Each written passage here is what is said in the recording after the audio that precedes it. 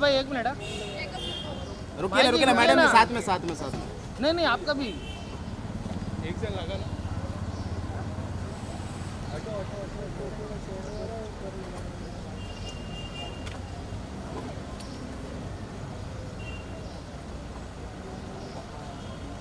First question will be for you ma'am it good to see you sir DID में फिर से दिखा। एक रियलिटी शो के बाद से एक और रियलिटी शो में। तो किस कैसे लग रहे हैं सर DID बहुत अच्छा लग रहा है कि जय घर से बाहर जा रहा है काम के लिए। और कुछ नहीं इसके दिमाग में ये रहता है कि काम आया चलो अभी शॉपिंग के लिए पैसे आ गए so what do you want to say? You you were back to no I am very happy I am very glad that you know ये शो मैंने तेरह साल पहले शुरू किया था D I D and I am back again as the host it feels great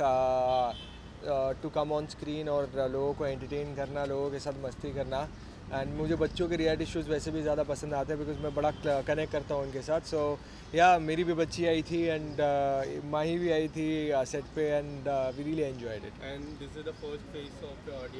कौन सा बच्चा आपको काफ़ी अच्छा लगा? Has a good talent for I think you know बहुत सारे बच्चे अभी तो मतलब कल परसों से फिर से मेरी शूट स्टार्ट हो रही है और कल कल से यू नो फाइनल हमारे बच्चे सिलेक्ट होने वाले हैं। एट प्रेजेंट तो you no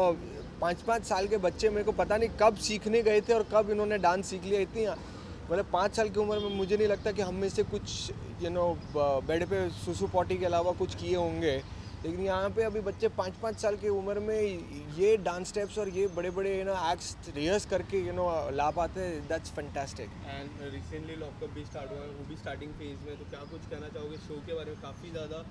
Karanvir Vora sir अंदर गए हैं तो बहुत सारे और अदर कंटेस्टेंट क्या कुछ कहना चाहोगे शो के बारे में? I wish all the best for lockup मैंने अभी तक एपिसोड देखा नहीं है लेकिन I wish them all the best it's looking very interesting and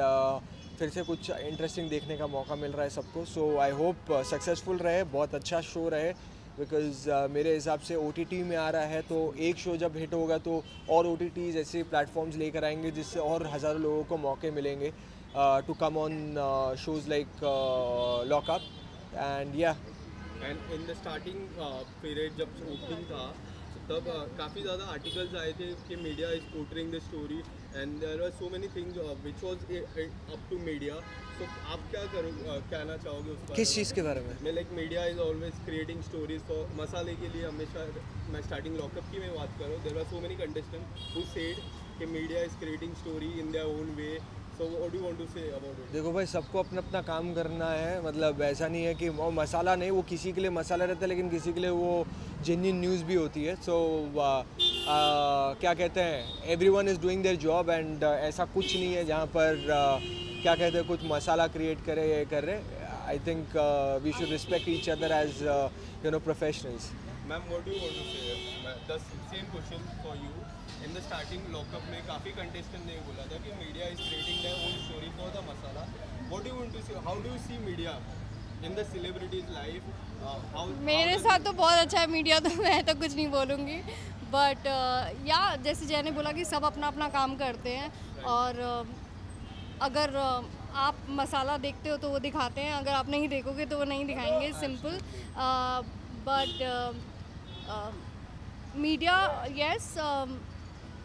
क्या बोलूँ मैं? I too love you guys I don't want to say anything else मेरे साथ तो कभी कुछ ऐसा हुआ नहीं कि I should be saying anything bad about you guys but या ठीक है धूप में खड़े रहते हो हमारा शूट करते हो बस बहुत thank you thank you thank you so much